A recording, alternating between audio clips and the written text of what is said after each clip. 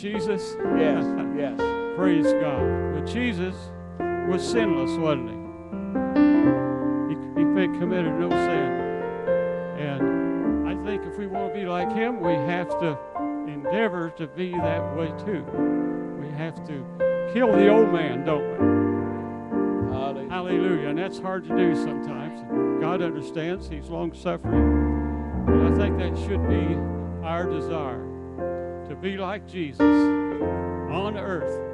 I think it will save us a lot of trouble. All the sin that we can avoid will make it a lot better for us.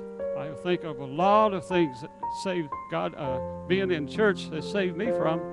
I'm happy, praise God, but I still have, like you say, it rains on the just and the unjust. But we don't have to worry about that because God created these bodies just for a space of time, and we want to look forward to that new body that He is He is making for us. I'm, I'm really really be happy when I get that. Yeah. Praise God. Let's stand. We want to go to the Lord in prayer. And uh, do we have any special requests? Brother Estep. Yes, remember Tom Estep. He needs needs prayer, and uh, I'd like to see him completely healed and, and back here with us. Right. Praise God, Brother Dickey.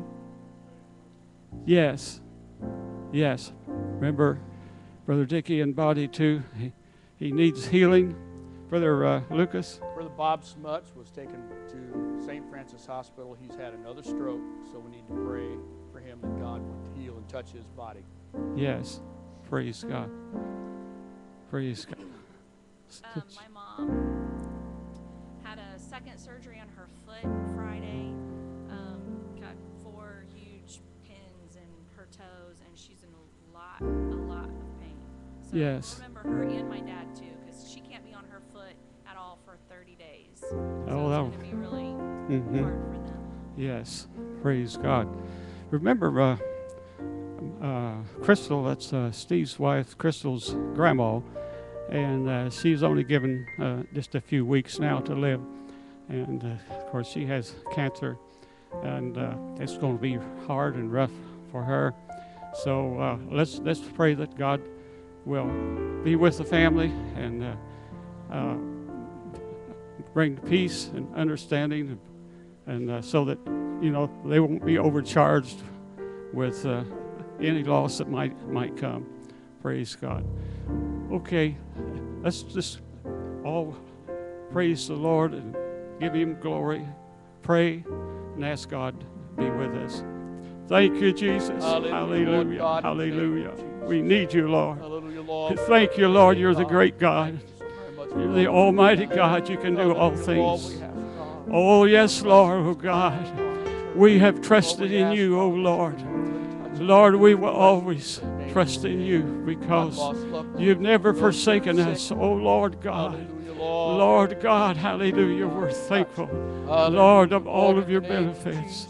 We pray, oh Lord, now for our loved ones. Lord God, those out of the ark of safety, Lord God. hallelujah. We pray, oh Lord, for healing, Lord of the body. Lord Jesus, you've heard everyone.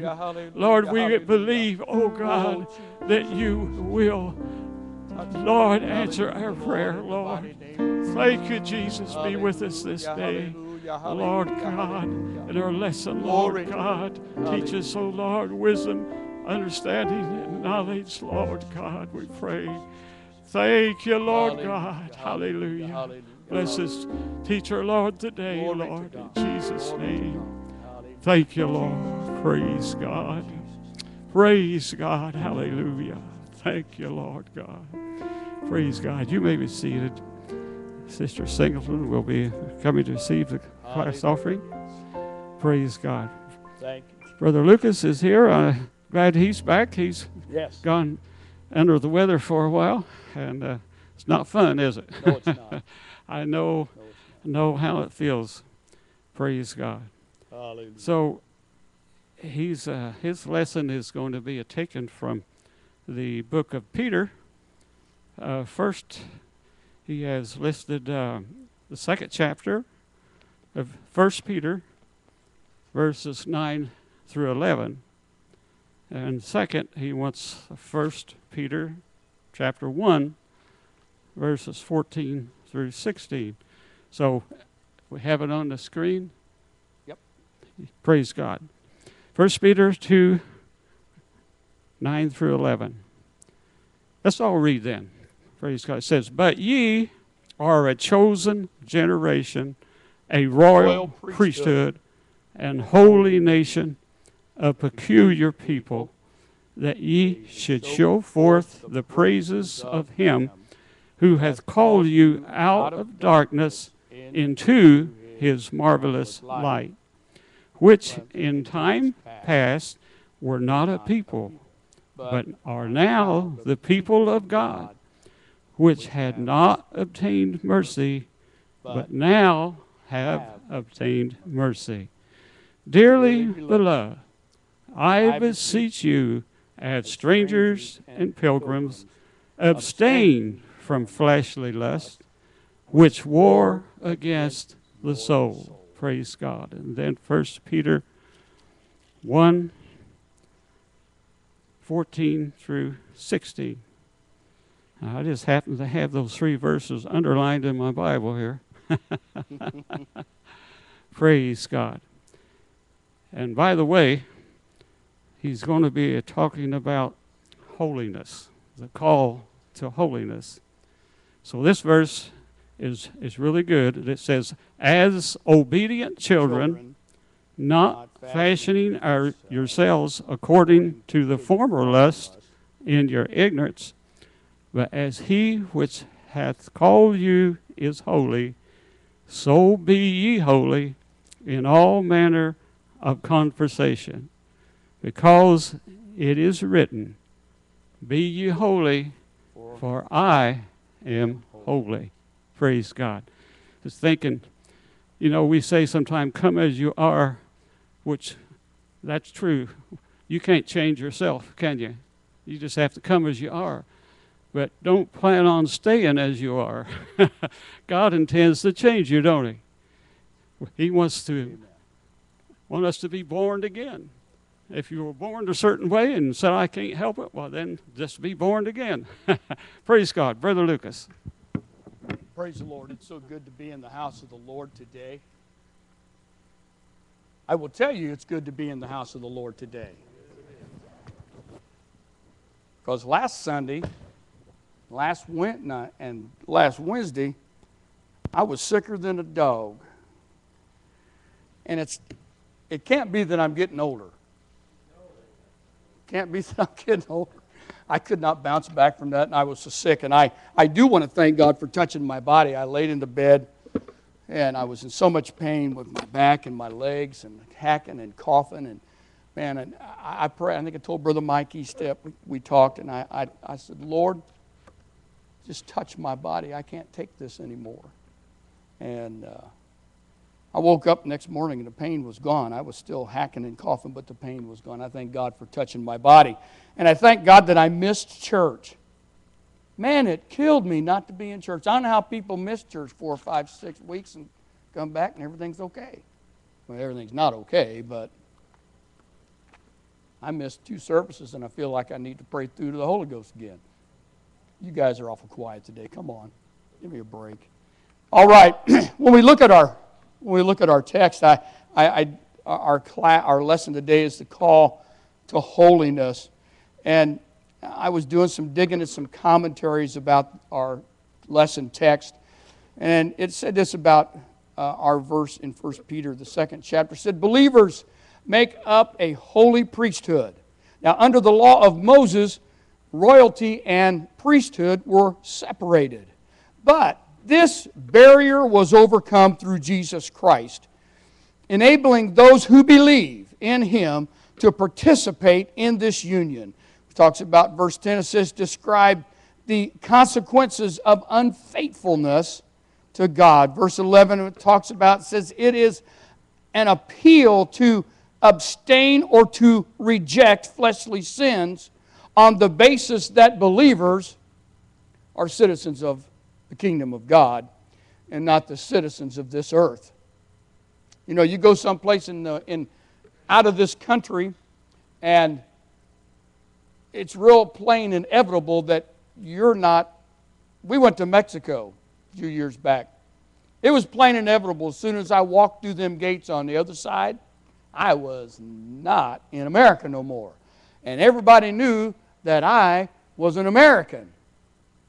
And I was immediately swarmed by about 50, 60 kids trying to sell me something. I wasn't 10 feet into Mexico.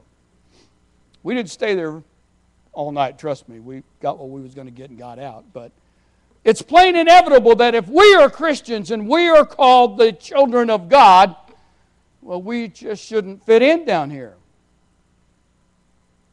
And as we talked about 1 Peter in the first chapter, verses 14 and through 16, said we should always exercise obedience in Christ and embrace a lifestyle of holiness. This call to holiness is just as prominent in the New Testament as it was in the Old Testament. Biblical concepts of holiness comprise purity, moral integrity, and encompasses a separation from all that is not that is not like him. Speaking of Jesus. The holiness that God wants in our lives focuses on our character our spiritual and earthly character and ethics. 1 Thessalonians 4 and 7 says for God hath not called us in unto uncleanliness but to holiness. Am I loud I'm a little loud, son, because I thought I was a little loud to me. All right, how's that? Is that better? I probably don't need a mic, but I might for the end of class. All right. God is holy, and His holiness should be reflected. I'm sorry, His holiness is reflected in His nature, in His work, and should be in His people the life that we lived in the world is put behind us. Aren't you glad for that? Aren't you glad that when you was baptized in Jesus' name and filled with the Holy Ghost, that the life that you had lived is now behind you? As you are filled with the Holy Ghost and you speak with other tongues, we become a new person, as Brother King was talking, in Christ. When we first come to the Lord, we learn a new way of life striving to reflect the character of the Lord. The Holy Ghost that dwells within us motivates us to pursue purity, to pursue purity and holiness in our lives. I've heard people say, well, I don't want to get off just yet. The joy that we find in forgiveness inspires us to live a life that is pleasing to God. That's pleasing to God. It's not that we cannot do something, it's what we can do that makes us want to change. I've had people, I, I, uh, right after I came to the Lord, and, and unbeknownst to me, Brother Estep beat me by two days, same revival. I went to work and man, I wasn't smoking cigars and I was trying not to smoke cigars. Actually, to tell you the truth, thank God I never smoked another one after God filled me with the Holy Ghost. Did I struggle with it? Oh, yes. Yes, but I prayed and I asked God and I got over it and I got past it. But I, guy said, Well, you can't do nothing no more. A couple weeks in, about a month. You can't do nothing no more. Your church won't let you. I said, I can do anything I want. I choose not to because I want to please God. I'm not trying to tell them that what, well, I am, kind of. I'm not telling them, oh, you're wrong because you're doing this. I'm telling you, I'm not doing it because I want to please God. I'm trying to find in myself that place where I needed to be that I could continually please God with the actions that was in my life. How about God's nature and His Spirit? Leviticus 20 and verse 7 says, Sanctify yourselves, therefore, and be ye holy. For I am the Lord your God. If we are to please God, we need to understand His nature. Holiness is an essential part of His nature. God's call, be ye holy, has reverberated throughout the scriptures and throughout the Bible. Holiness is intertwined with the nature of God. You, you, you, have you ever tried to separate? You ever tried to separate some, some vines from, you know, like poison ivy vines from honeysuckle vines? I suggest not be messing with poison ivy, but you ever tried to separate two vines? They don't separate very well, especially if they're all got caught up in four or five of them, you'll end up destroying everything. So you cannot separate holiness from God's character. You cannot do it. People want to say, well, we don't, I don't feel like I need to do that no more. Well, show me where it says it in the Bible, and I'll be glad to drop it off. It's awful quiet in here, and I'm trying not to preach now. You can tell I've been, I've been out of the, I've been out of the mix for a while. You cannot separate holiness from God's nature because it is a vital part of it. Everything, now get this, everything that is in His presence must be holy, clean, and righteous. Am I still too loud? I'm all right, okay, because I'm getting wound up. Getting wound up. I don't want to do anything. I sit and I just thought about this, this one phrase that I just said. I don't want to do anything that allows something in my life that pushes the Holy Ghost out. I've heard people say, well, God just turned his back on me. No, he didn't. No, he didn't. You allowed something to come into you, welcomed something into your life that suppressed that spirit. See, holiness isn't just going to sit around when there's porn- pornography going on. Holiness isn't going to sit around whenever, whenever uh, cuss words is flying and, and, and, and you're screaming, it's Miller time. For you who don't know what that is, that's a commercial they used to have about drinking beer. Just, I, you know, I had to clarify that because I know most of you don't know anything about that. Wow. The, whole, the, the Spirit of God, the holiness, will not stay in a vessel that's full of something that's unclean and unholy. The Spirit of God will only dwell where His holiness is able to thrive. I want God's holiness to be able to thrive in my life. Oh, I'm not perfect, trust me. Trust me. You know, I, I got to check myself daily. I got to keep my I got to keep this old flesh under check. But but anytime that I feel something, I, I want to try to get a hold of God and say, God, please help me. Every day I pray, God, help me to be a better man today than I was yesterday. Help me to be a better husband than I was yesterday, uh, today than I was yesterday. Grandfather, man of God. I want to be better today than I was tomorrow. I, I'm, not, I'm not perfect and I'll probably never make it to the level of perfection, but I am going to strive every day to do God's will in my life. And His will is that we would stretch out and reach out for the holiness that He has for us in our lives. That holiness will strengthen us, will move upon us, and will bring into our lives a strength and a power of the Holy Ghost that we have never seen before if we will let that holiness thrive in our lives. Hallelujah. Excuse me. Hang on here. Let me get my dignified voice on, if I can find it someplace. How about His Word? You guys are just, I don't know about you today. Since God is holy, all that belongs to Him is holy. How about His Word? How about His Word? John 1 and 1 says this In the beginning was the Word, and the Word was with God, and the Word was God. Now, Andrew, I'm going to be making reference to a whole bunch of scriptures here you don't have because don't, don't worry about it. So don't be looking for something that you ain't got. I'll, I'll tell you when you can pick back up. All right, the, in Hebrews 11, it says the words were framed by the Word of God. All you guys, you sit out back and say, Grass be cut. I wish I could do that with an acre and a half. Grass be cut, it's done. Uh-uh. But God framed this entire world with His words. With His words. First Kings in the eighth chapter says, His word has never failed. Anybody ever lied to you? Anybody led you astray? Maybe they didn't even mean to lie to you. Maybe they promised you something, but just didn't come forward. God's word has never failed and never will.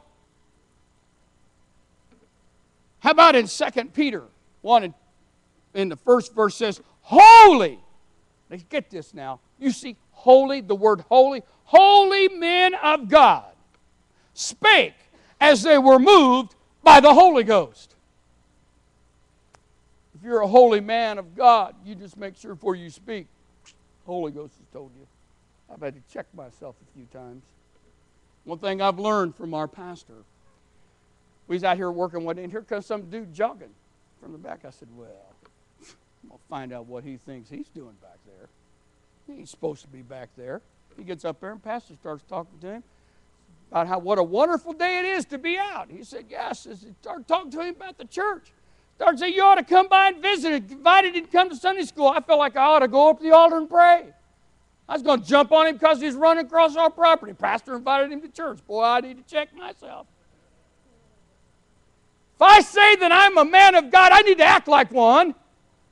I say I'm filled with the baptism of the Holy Ghost, I need to act like that I am. I need to make sure that, that what comes in, that when it comes out, it's right. You know the old adage, garbage in, garbage out? I need to make sure there's no more garbage coming through because the devil would love to shove a bunch of it in there at me. And I need to make sure every day, we need to make sure every day that what comes into our lives is that of something that is good of God. Now, I don't, I'm not telling you that you can't go have fun. I'm not saying that you can't have fun. I'm not saying you got to spend every waking hour in prayer. Well, you just search yourself and make that decision for yourself. It's, a joke. It's a joke now. But I will tell you that I need to spend a certain amount of my day in prayer. Brother I, every morning we start in prayer before Debbie walks out the door. We, we pray. We pray together that God would touch our church, would touch our home, would touch our finances, would move upon on, on friends and family that are us. We pray for different things before we even walk out the door to start our day. We need to have a daily time in prayer. Everyone does. Everyone needs to have a time that they can commune with God. Talk about having a spirit of prayer. That way, if something comes upon you in a moment's time, you call upon the name of Jesus and not say, You idiot, stay in your own lane. Not that I've ever done that. All right, let's hang on here. I got to get back, back, back on track. All right, so holy men of God spake as they were moved by the Holy Ghost. Oh, this one tears, this one gets me, gets me. John in the first chapter says this the Word was made flesh and it dwelt among us. You know, the, you know, that word that dwelt among us was the word that was in Genesis 1 and 1. That word that dwelt among us was the word that's spoken throughout the whole Bible. Do you know that Jesus, the Word, came and was made flesh and dwelt among us? He is the one true God. He is the Word that was reincarnate to show us how we should live. And it goes on to say this in Hebrews in the fourth chapter even that flesh was holy and without sin. And without sin. Aren't you glad for His Word that was and that is today holy? It was holy back then and it is holy today. And Jesus, understand that He dwells in holy places. Uh, Isaiah 57 and 15. You don't have this one. For thus saith the high, for thus saith the high places and lofty one, the high and lofty one that inhabiteth eternity, whose name is holy. I dwell in the high and holy places. I dwell. Lord, He dwells in the high and the holy places. You don't have this one either, son. Psalms 47 and 8 says, God sitteth upon the throne of his holiness. Everything about God is holy. There is nothing that exists in, around, on that is around or any place near God that is not holy. God is holy, and what and wherever he dwells must be holy. Wherever he dwells must be holy. The tabernacle was sanctified, hallowed unto God, but it was his presence between the cherubims in the holy of holies that made the tabernacle holy. It wasn't man's own job. It wasn't what Moses and all of the high priests did that made that place holy. It was the presence of God when it moved in to the holy of holies in between there in between the cherubims. That's what made it holy. In David's day, Zion was the dwelling place of the ark of the covenant. It was called the mountain of his holiness. When Solomon's temple was completed. The glory of the Lord filled the house. His spirit took residence there. God's dwelling is always a holy place. Is always a holy place. Check the time. Wow. Okay. All right, the church today. The church, you, as you're sitting here, it's not this building, it's you. You are the church. The church is God's masterpiece of mercy. I can testify to that.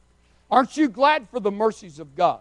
Aren't you glad that we're not living under the dispensation of the law, but we're living under the dispensation of mercy, of the fact that God can show us mercy when we make a mistake, when we do something wrong? None of us would be able to live under the law. The word church was first mentioned in Matthew 16 18 when Jesus said, I will build my church. The church began when the Holy Ghost was poured out in Jerusalem. When men and women received the Holy Ghost, the church is the dwelling place of His Holy Spirit. It's not this building, though we should keep this building we should treat it reverently. Okay? We should treat it reverently. That's why I grab my grandkids and say, stop running. That's why we ask nobody to be bringing nothing in here but bottled water. We need to treat this room, this building reverently. Why? Because when the church gathers together in this building, we bring down the Shekinah glory of God when we worship Him, when we lift praises unto Him. All right.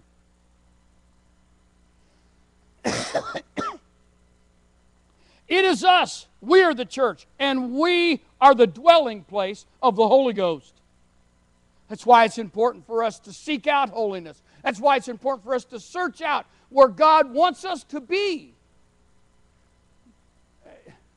I heard somebody say, Well, you finally arrived. I said, What?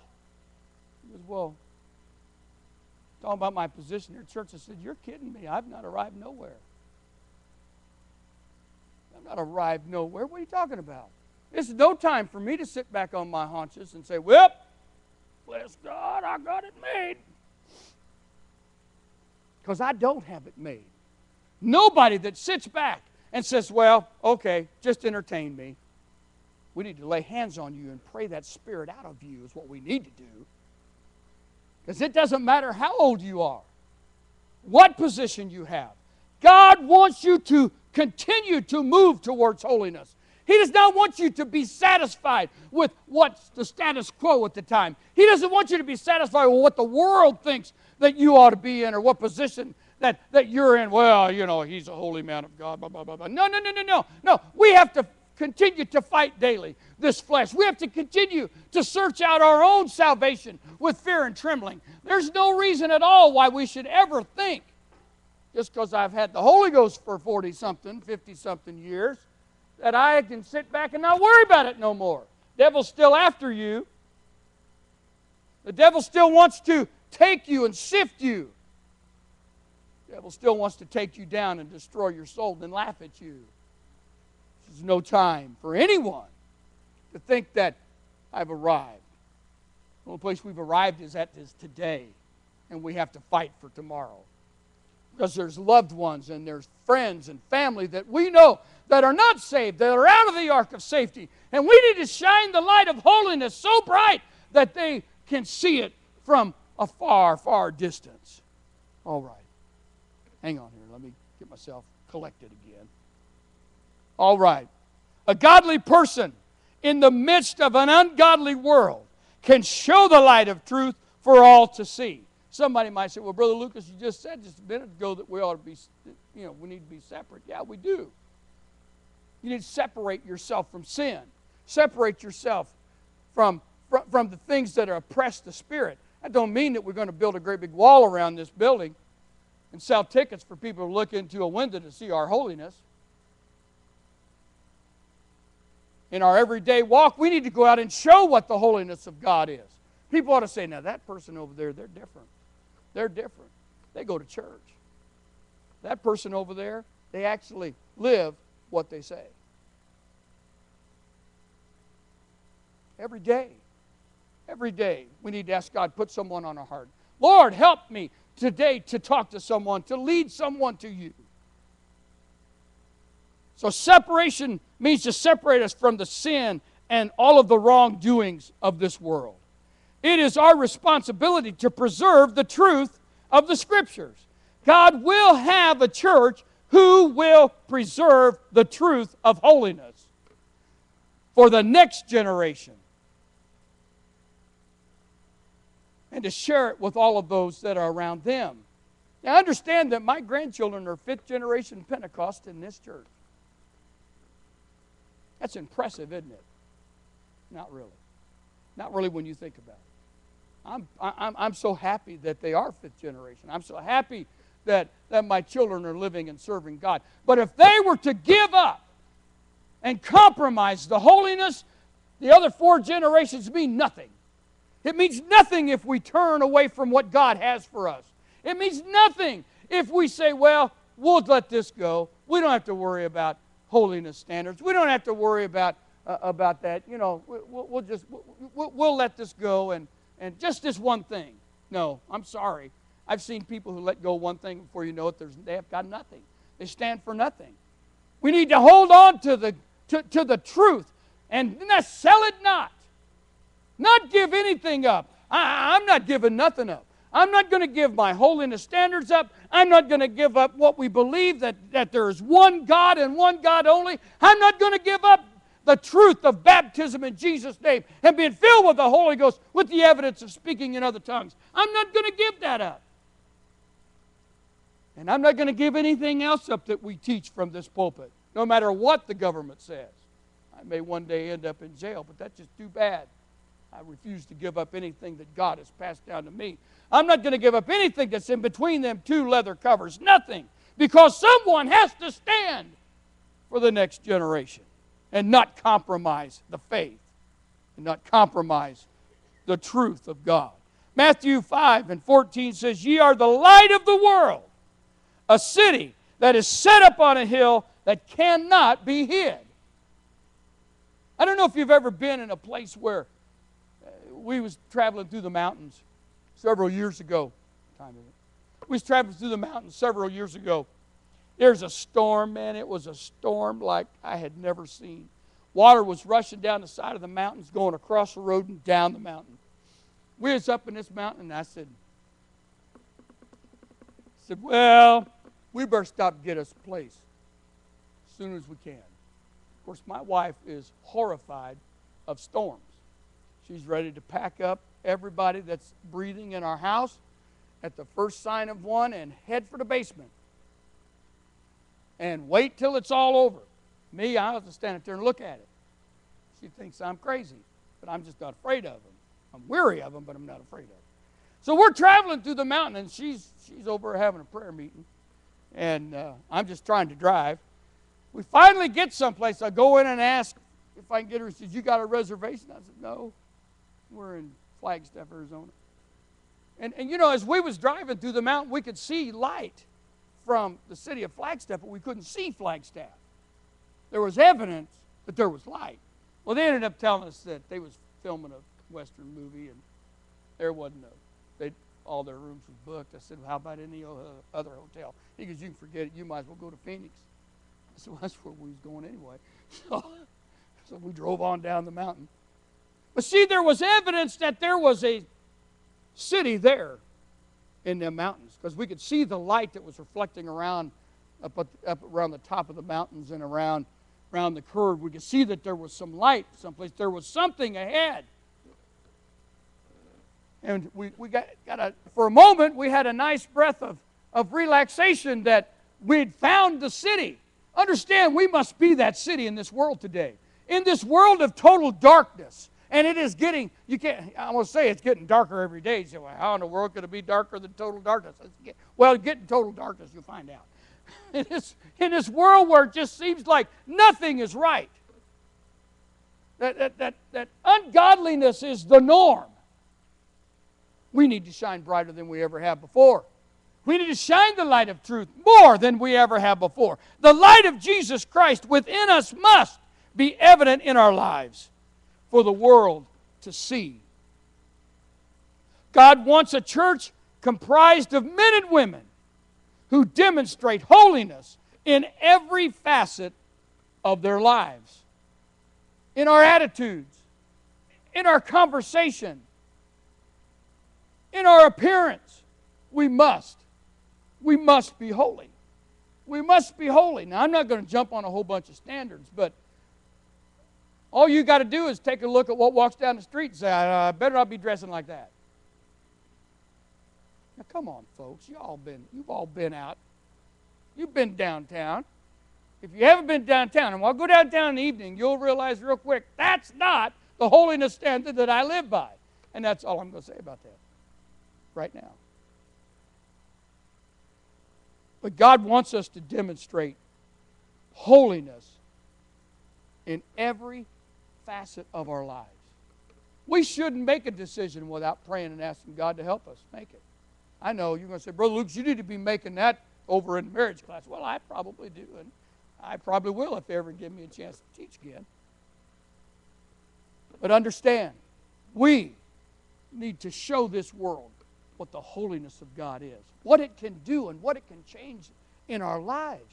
Do you know do you know that God changed me? I, I, I wasn't anything wonderful when I first came to God. When God filled me with the Holy Ghost, He changed a little bit. He changed a few things in me. He couldn't let me just be like I was. I needed to change some things. I needed to let the holiness of God and it engulf my life and start changing and pushing things out that wasn't of Him.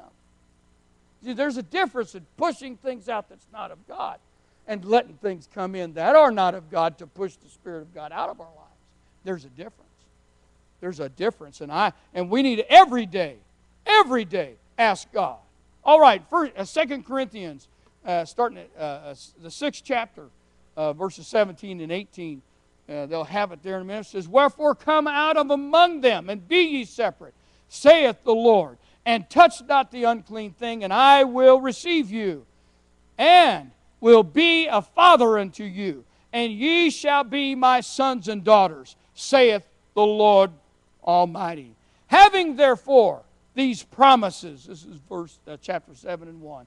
Having therefore these promises, dearly beloved, let us cleanse ourselves from all filthiness of the flesh and spirit, perfecting holiness in the fear of God. There is evil spirits out there today. And if we're not careful, we can invite them in. That's why we have to check ourselves. That's why that we have to every day, every day pray and ask God to strengthen us, to make us stronger and better than we was yesterday. Because the world and the devil, he's getting stronger. He's getting crazier. He's doing more and more. He's doing things today that we would never have. Would you ever dream that in Indiana we'd have gay marriage? And see, this is going on the web, so I'll probably be in trouble. That's all right.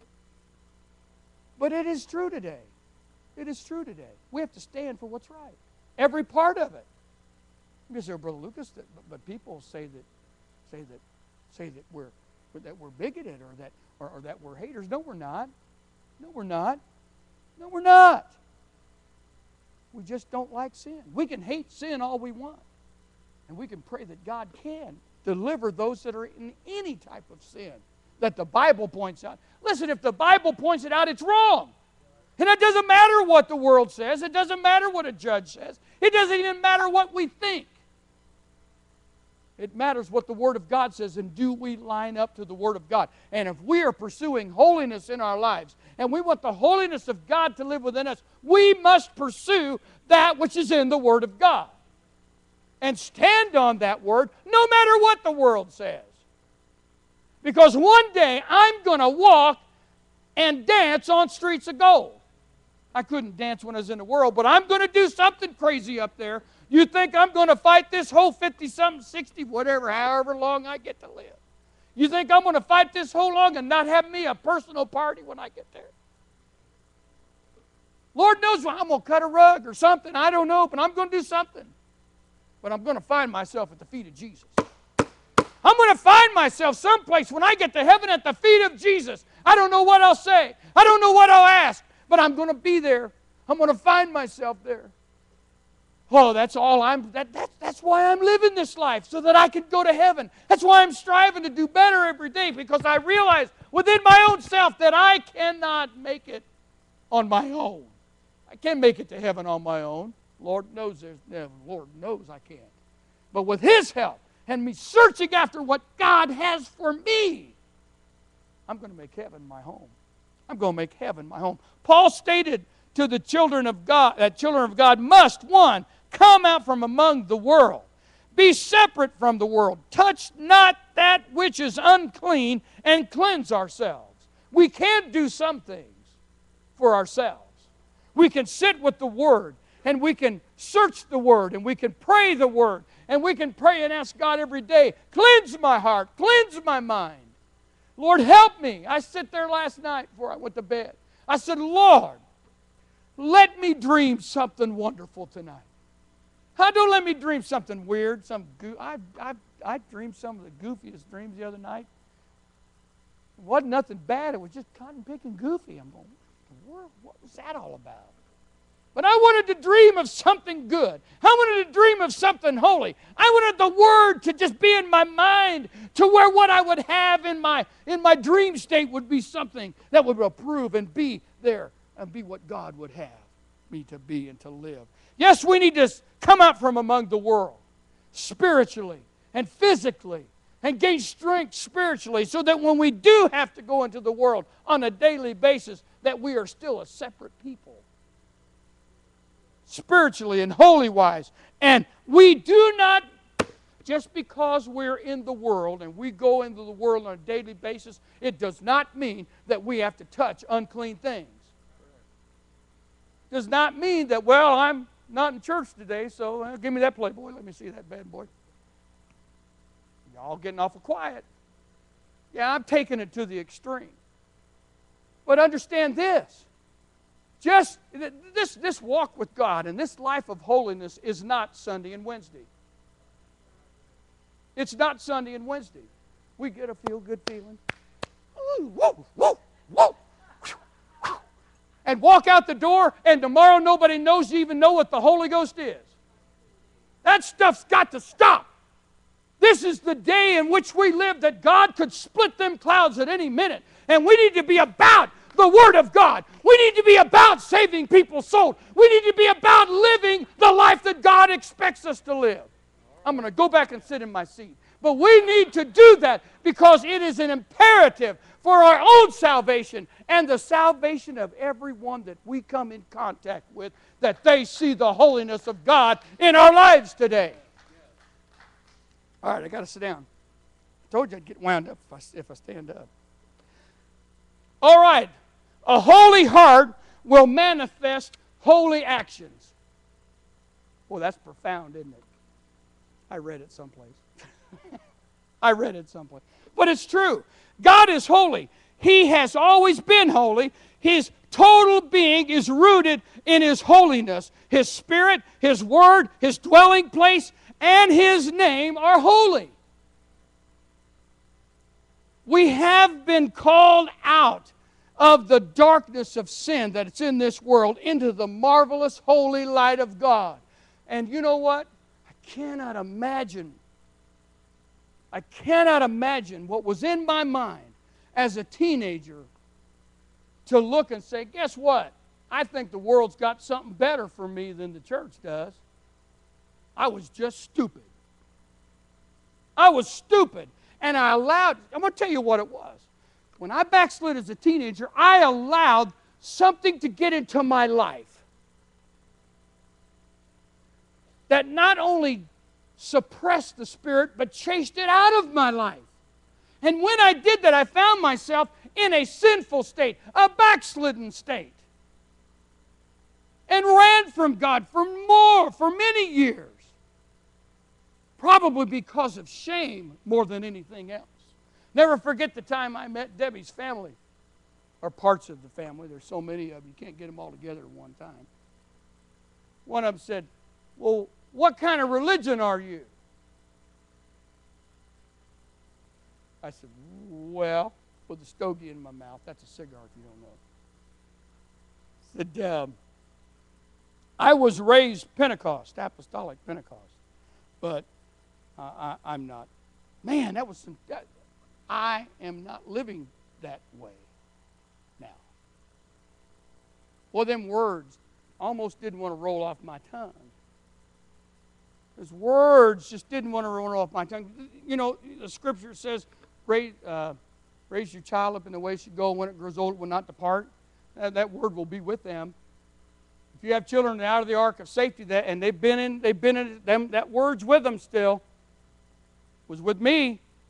It was with me. I don't know what I was thinking about. I was just, like I said, I was just stupid. But we have to call out.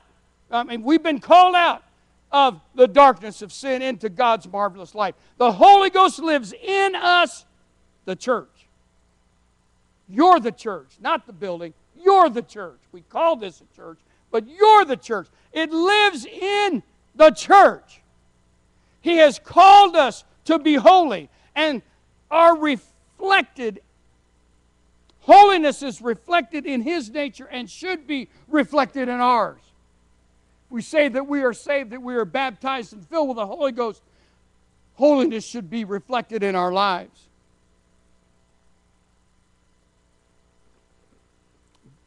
Understand because God loved us first, we should desire to put Him first in everything that we think and that we do. Our outward appearance should reflect our inward purity. We'll say that again. Our outward appearance should reflect our inward purity. If God lives in us, it should be plain on the outside of us. Should be plain on the outside of us. Hebrews 12 and 14, and we're just about done. Says, Follow peace with all men and holiness without which no man, no man shall see the Lord. As we are trying to live in God's character, holiness is expressed in our pursuit of peace with all people. Brother Segraves said that in one of his commentaries, and I'll repeat that again. As we are trying to live in God's character, holiness is expressed in our pursuit of peace with all people. We need to have peace with all people. It doesn't matter who they are. It doesn't matter how, how, how crude they are. Uh, there was a guy that me and Brother Mike used to work with I partnered with him for a little while, and um, man, you didn't even say anything about about church to him. He'd go crazy. He threatened her. He threatened because if I seen somebody write praise Jesus on something, I'd go lock them up. And I came back to church, and man, he rode me like a tired dog. But I just kept my mouth shut. And I talked to him. I said, Mike, I said, you've got to believe in God. No, I don't. He's a pervert. I said, You better watch what you say. I said, You better watch what you say. I said, Just because you had a bad experience doesn't mean that God does not still love you and that God is not alive. And I tried my best to live right in front of him. And he finally eased up, but I could never get him to come to church. That breaks my heart. But I am still going to pursue peace with all people. Doesn't matter what they think, doesn't matter what position that they've taken. I'm not going to compromise my beliefs. I'm not going to compromise anything that God has given me. I'm going to live as holy as I can every day that I can as long as I have breath. We demonstrate holiness because because we understand we understand that without holiness we will not make it to heaven. Every day of our lives, we should pursue holiness. We should, my mouth is dry as a bone. We should pursue holiness in a way that when we get it, understand, eh, eh, there's something amazing about God. The closer that we get to God, the closer that we want to be with God. I know, that's how it is with me. But I will tell you this that if we draw in what God has, you know that when you give it up to someone else, it, you don't really notice that it's gone. It will replicate itself. The more that you testify, the more that you share the love of God and the holiness of God with other people, God will respond and fill you back up. Fill you back up. You will never find yourself in a position where you have lost what you have given to someone else, what you have witnessed to someone else. Your life, thank you. Your life is a witness today. One way or the other. You're either a witness for the prosecution or you're a witness for the defense. You can pick out which side you like and which side you don't like, but you better like God's side. And you better be a witness for Jesus Christ every day that you live and breathe. And hang on to the holiness that God has given us and make it in your life one thing that you will never give up and never compromise the truth. The Bible says to buy the truth, and sell it not, and sell it not. God bless you. I love you. Thank you for your listening. And let's